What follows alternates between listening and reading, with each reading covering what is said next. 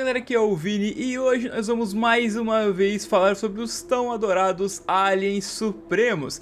Mais especificamente algo que acontece no primeiro episódio de Supremacia Alienígena, o episódio Fama Onde o Ben após se destransformar do Macaco Aranha Supremo Seus olhos por um breve momento brilham em rosa. Então aqui nesse vídeo aqui eu vou tentar explicar o que poderia ser isso E meio que criar uma espécie de what if de como seria a história caso isso tivesse sido levado adiante, já que o diretor da série Dwayne McDuff havia dito que um episódio explicando esse brilho nos olhos havia sido escrito. Então, aparentemente, originalmente a intenção deles era abordar esse aspecto, embora uma das roteiristas chamada Charlotte Furleton já disse que isso na verdade era um erro de animação, Porém, como podemos ver, o Duane já confirmou que isso era algo a ser explorado. Mas antes da gente se aprofundar no assunto, vamos relembrar como funcionam os Supremos na série. Basicamente, o Super Omnitrix faz uma simulação de um milhão de anos teóricos com a espécie do Alien. Assim, basicamente ocorre a evolução da maneira que a gente conhece a partir da seleção natural onde os seres têm que estar mais adaptados ao ambiente em que eles vivem. Assim, eles se desenvolveriam para ficarem mais fortes e resistentes. No caso, no pior cenário possível, por isso que os Supremos são tão mais poderosos do que as versões padrões dos aliens. Enfim, voltando aos olhos brilhantes, eu acho que é muito fácil para a gente conseguir relacionar isso à humana, que é geralmente representado na cor rosa, e a gente vê o olho da Gwen brilhando rosa diversas vezes quando ela usa seus poderes, então é fácil a gente conseguir considerar de que os Supremos teriam algo a ver com Mana em sua história alternativa que acabou não sendo levada adiante. Então eu tô aqui pra gente fazer essa espécie de What If Ben 10 aqui, pra gente considerar como seria se os Aliens Supremos fossem criados a partir do Mana e não por um processo de seleção natural. Bem, nós sabemos que quem criou a função evolutiva foi o Albedo. E a gente sabe também que desde que ele pegou um Omnitrix para si, ele se tornou uma cópia exata do Ben. Logo a gente sabe que o Ben é neto da Verdona, ou seja, ele tem a possibilidade de ser parte anodita assim como a Gwen. Tanto que o Ben 10.000 que aparece em Supremacia Alienígena, em Ben 10.000 Retorna, aprendeu a utilizar alguns poderes de mana. E assim o Albedo utilizaria esse aspecto de seu material genético para aprimorar o Omnitrix e criar o Super Omnitrix. Só que dessa vez utilizando a sua mana para aprimorar os aliens. A relação entre o Azimuth e os Supremos também poderia mudar, pois nós sabemos que originalmente o Azimuth não gosta dos Supremos e que ter eles é implorar por problemas graças à função evolutiva. O motivo para isso é que os Supremos são criaturas não naturais feitas em um cenário muito doloroso e são criadas para a batalha e algo que traz uma desordem natural, coisas que o Azimuth repudia, já que ele criou o Omnitrix para ser um instrumento de paz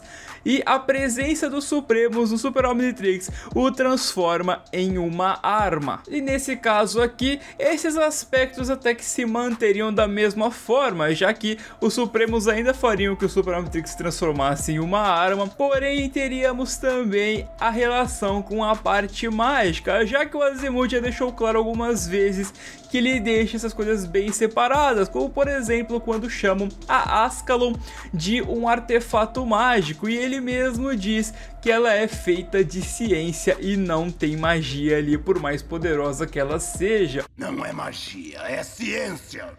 A sua ciência. Eu já disse que não é magia. Vocês não conseguem entender. Então o Azimuth não gostaria de ter seu dispositivo mesclado com magia.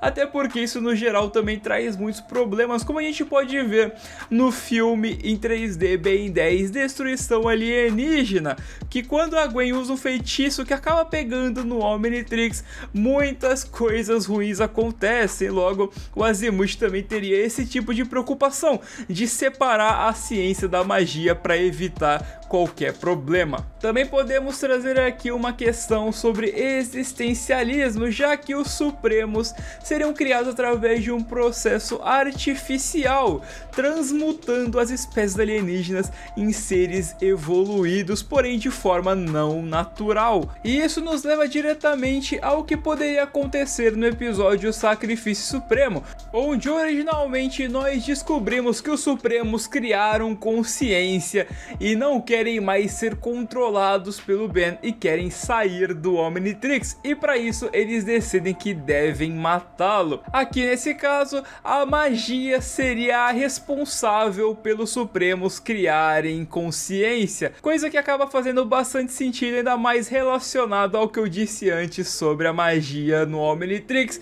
como isso causa diversos problemas. Então, os Supremos criariam consciência, só que dessa vez o problema deles seria provindo do vazio existencial, deles serem seres não naturais que foram aprimorados com mana e na realidade não deveriam existir. O episódio poderia abordar essa questão do existencialismo, sobre a sua importância no mundo e na sociedade e como cada indivíduo tem sua importância independente de onde ele tenha vindo. Mesmo eles sendo seres não naturais, aqui eles aprenderiam que mesmo assim eles podem ter uma vida e fazer seu papel. Após o sacrifício do Ben, eles sairiam do relógio e a gente entenderia que graças à raiva dos Supremos, o mana deles havia ficado corrompido, se tornando um mana sombrio, o que fez com que eles perdessem o controle. Então poderíamos ter até uma participação da Verdona para ajudá-los a entender sobre o Mana e também e fazer com que os Supremos enxerguem um propósito para si. E o Azimuth então deixaria o Ben manter os Supremos até o fim da série, dessa vez porque ele viu como o Ben se sacrificou e como ele evoluiu como pessoa, e assim tendo visto uma ponta de esperança em sua atitude. Para finalizar, vamos falar um pouco sobre os poderes dos Supremos, já que como eles seriam mesclados com mana e magia, eles poderiam ter alguns poderes relacionados a isso, com algumas capacidades de mana. E também a magia ajudaria a explicar alguns poderes que não parecem muito lógicos evolutivamente, como por exemplo, o poder do Normossauro de disparar ossos como mísseis, que acaba sendo algo muito estranho. Claro que ele tenta explicar biologicamente, né, que ele trocou a capacidade de crescer, né, a capacidade de os seus ossos se moldarem para ele ficar maior, para eles se distorcerem e conseguirem serem disparados como mísseis.